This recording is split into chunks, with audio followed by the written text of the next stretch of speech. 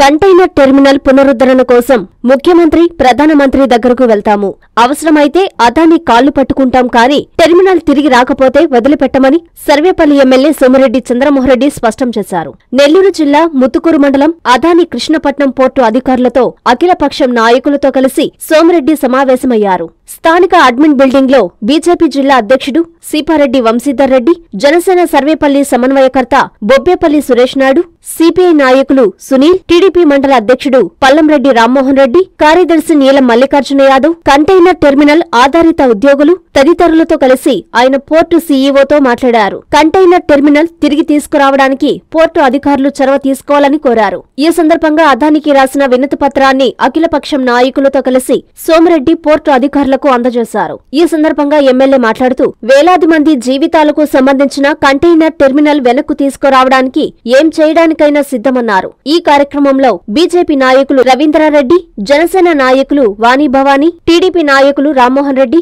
Kodandaiah Anandaiah port PR head Venugopal container terminal ఆధారిత ఉద్యోగులు తదితరులు పాల్గొన్నారు.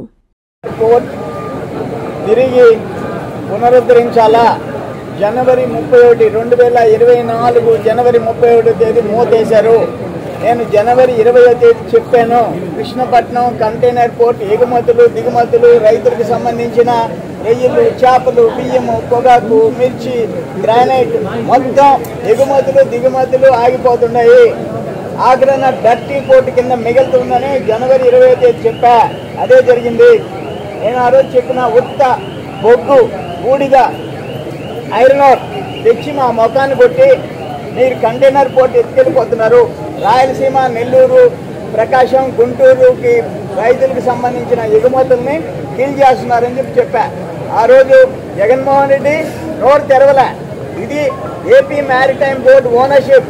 రెండు వేల ముప్పై తొమ్మిదికి ఆంధ్రప్రదేశ్ ప్రభుత్వానికి హ్యాండ్ ఓవర్ అవుతుంది అటువంటిది ఆ రోజు రెండు వేల పంతొమ్మిదికి తెలుగుదేశం టైంలో సివి రావు గారు పెద్దనం ఇది ఓనర్షిప్ ఉన్నప్పుడు ఒక సంవత్సరానికి తొమ్మిది లక్షల యాభై వేల నుంచి పది లక్షల కంటైనర్లు ఎగుమతులు దిగుమతులు జరిగినాయి. దాదాపు పన్నెండు వేల మంది దీని మీద బతికారు. డైరెక్ట్గా రెండు వేల మంది ఇండైరెక్ట్గా పదివేల మంది ఉద్యోగాలు ఉన్నాయి. ఈరోజు అన్ని పోయినాయి. రాష్ట్ర ప్రభుత్వానికి తొమ్మిది వందల నుంచి వెయ్యి కోట్ల ఆదాయం వచ్చింది. ఈ రోజు పోయింది. ఓన్లీ డర్టీ కార్మికుగా మిగిలిపోయింది. దుమ్ము ధూళి మా మొకాన మా పొలాలు మా గ్రామాలు మా జీవితాలు మీకు తాకట్టు పెట్టాం. సివి రావు గారు పది లక్షల కంటైనర్లు తీసుకుపోతే ఆఖరికి వైజాగ్ బాంబే చెన్నై ఎయిర్పోర్టుతో పోటీ పడితే అటువంటిది ఈరోజు జీరో చేసేస్తే మేమేమనుకున్నాము? రావు గారు పది లక్షలు అంటే అదాని గారు ఇరవై లక్షలు తీసుకుపోతారనుకున్నాం ఇట్లా మునిగిపోద్ది పోటీ అని చెప్పి మేము అనుకోలే. ఇక్కడున్న రైతులు వాళ్ళ తాతలు ముత్తాతలు ఇచ్చిన భూమిని హ్యాండ్ ఓవర్ చేసి ఖాళీ చేసి వెళ్ళిపోయినారు కట్టుబట్టలతో. గ్రామాలు ఖాళీ చేసిపోయినారు ఆ రోజు ఏడు లక్షల రూపాయలకి ఎకరా ఇచ్చాం. ఈరోజు యాభై లక్షలు అరవై లక్షలు కొన్ని రోడ్ సైడ్ కోటి రూపాయలు ఉన్నాయి.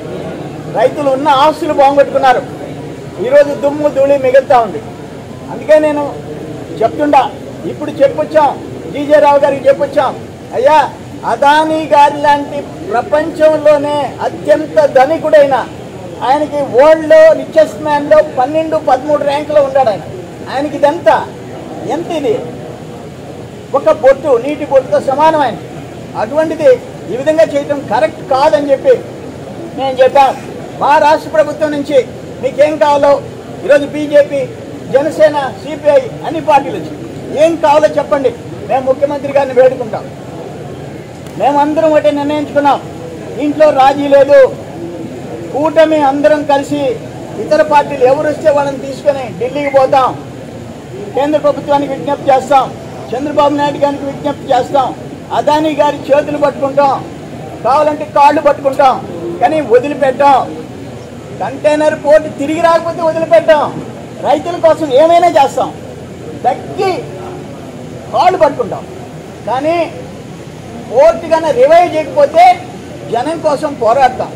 అదని గారు మిమ్మల్ని వేడుకుంటున్నామయ్యా రైతుల బిడ్డల తరఫున వేడుకుంటున్నామయ్యా. ఇది న్యాయమా అని చెప్పేసి అడుగుతా ఉండ సివిరావు గారు కావాల్సిన ఆ ఎవరైతే ఆ కంపెనీలు ఉన్నాయో వాళ్ళందరికీ ఇక్కడ Maersk MSC CMA CGM Evergreen YML HMM ఇటు ఇటువంటి లైనర్స్ అందరూ తిరిగి కార్యకలాపాలు కొనసాగించేదాకా బస్ ఛార్జెస్ హ్యాండ్లింగ్ ఛార్జెస్ అంతకుముందు ఏమున్నాయో అవి ఇక్కడ మళ్ళీ అమలు చేయండి. ఆటోమేటిక్గా మీరు పెంచిన ఇవన్నీ తగ్గించేసి వెజల్స్ నడిపించండి. ఈ కంపెనీలన్నీ వస్తాయి. బ్రహ్మాండంగా మళ్ళీ పూర్వ వైభవం వస్తుంది. ఈ దేశంలో ఆ టాప్ ర్యాంకులో ఉన్న మూడింటితో మళ్ళీ పోటీ పడుతుంది ఇది నిజంగా బాధగా ఉంది. వైజాగ్ బాంబే చెన్నై పోటీతో పోటీ పడిన కృష్ణపట్నం పోర్ట్ ఈరోజు మూలకు వచ్చిందంటే మేము జీర్ణించుకోలేకపోతున్నాం. రాజీ లేకుండా పోరాటం చేస్తాం. జనం కోసం పోరాటం చేస్తాం. ఐ మీన్ ఉద్యోగాలు పోగొట్టుకున్న ముప్పై వేలు యాభై వేలు లక్ష లక్ష యాభై వేలు వచ్చేవాడు ఈరోజు కూలికి పోయే పరిస్థితి వచ్చింది. పదివేలు మంది వాళ్ళ కోసం పోరాడతాం. రైతులు ఎక్స్పోర్ట్ చేయాలంటే ఆ బియ్యం కానీ రొయ్యలు కానీ చేపలు కానీ ఏదైనా సరే పంటలు మిర్చి ఇవన్నీ పొగాకు అక్కడ పోవాల్సి వస్తుంది కాటుపల్లి. అదాని గారి పోర్టు కాటుపల్లి అక్కడున్న ఎన్నూరు పోర్టుకు పోవాల్సి వస్తుంది. మూడు రోజులు వెయిట్ చేయాల్సి వస్తుంది. ఎక్స్ట్రా ఛార్జెస్ కట్టాల్సి వస్తుంది. ఆ అడిషనల్గా కృష్ణపట్నం పోర్టు కంటే ఎంత అదనంగా అవుతుందో ఎగుమతికి ఆ డబ్బులన్నీ రైతులకి తగ్గించి వాళ్ళు కొంటున్నారు. అల్టిమేట్గా నష్టపోయేది రైతు బిడ్డలు ఉద్యోగాలు చేసేవాళ్ళు. వాళ్ళ కోసం మేము ప్రాణాలు ఇచ్చేదానికి మేము ప్రాణాలు ఇచ్చేదానికి సిద్ధపడతాం. అదాని గారికి నేను ఒకటే చెప్తున్నా అయ్యా మిమ్మల్ని వేడుకుంటున్నాం. మిమ్మల్ని రైతు బిడ్డల కోసం ఇక్కడ ఉద్యోగాలు చేసే బిడ్డలు కడుపు నింపేదానికోసం మేమందరం మేమందరం మిమ్మల్ని వేడుకుంటున్నాం. దయచేసి మంచి మనసు చేసుకోండి. మీకు మీకున్న స్థాయికి ఇది ఏమీ లేదు ఇది పెద్ద ఇష్యూ కాదు. ఒక్క పది నిమిషాలు మీరు టైం స్పెండ్ చేసి కంటైనర్ పోర్ట్ రివైవ్ చేయండి అంటే యథాతథంగా పూర్వవైభవం వస్తుందని చెప్పేసి మేము తెలియజేస్తున్నాం. అల్టిమేట్గా రాష్ట్ర ప్రభుత్వం కేంద్ర ప్రభుత్వానికి విజ్ఞప్తి చేస్తాం. ఫైనల్గా అదానీ గారికి విజ్ఞప్తి చేస్తాం. అదానీ గారికి మేము చెప్పాం ఇప్పుడు. అదానీ గారు ఢిల్లీలో టైం ఇస్తే అదానీ గారు హైదరాబాద్కి వచ్చినప్పుడు టైం ఇస్తే ఎక్కడ ఆయన టైం ఇస్తే మేమందరం ప్రత్యేక రైళ్ళలో పోతాం. ఆయన దగ్గర వేడుకొని వస్తుంది మాకేం కొత్త కాదు. రాజశేఖర రెడ్డి గారి దగ్గరికి రెండు వేల ఏడులో రెండు బస్సులు తీసుకోపోయినా. ఈ భూమి ధరలు పెంచమని నష్టపరిహారం పెంచమని. ఎన్టీ రామారావు గారి దగ్గరికి తొంభై నాలుగులో రెండు బస్సులు వేసుకుపోయినా. ఆయన ఇంటికి పోయి తొంభై నాలుగు.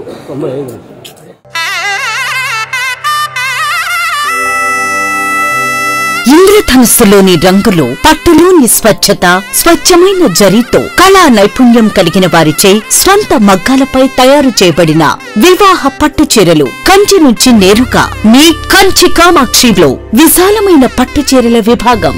వేల రకాల పట్టు చీరలతో కొత్త రంగులతో అతి తక్కువ ధరలకే మీ ఇంట వివాహాన్ని మధుర జ్ఞాపకాలుగా ఉండేలా పట్టు వర్ణాల కొలువు. కాంజీవరం పట్టు saris Dharmavaram tissue saris pen kalamkari digital పట్టు సారీస్ ప్యూర్ జార్జెట్ పట్టు పట్టు సారీస్ వైవిక పట్టు కామాఖ్య పట్టు రాజవంశ పట్టు రాగసూత్ర పట్టు వసుదైక పట్టు అక్షయ పట్టు వైదిక పట్టు సారీస్తో వైభవంగా ఆహ్వానిస్తోంది మీ కంచి కామాక్షి. చుడిదార్స్ గాగ్రాస్ లెహెంగాస్ వెస్టర్న్ వేర్ కలెక్షన్లతో విచ్చేయండి Kanchi Kamakshi. Magunta layout mini bypass Nellore.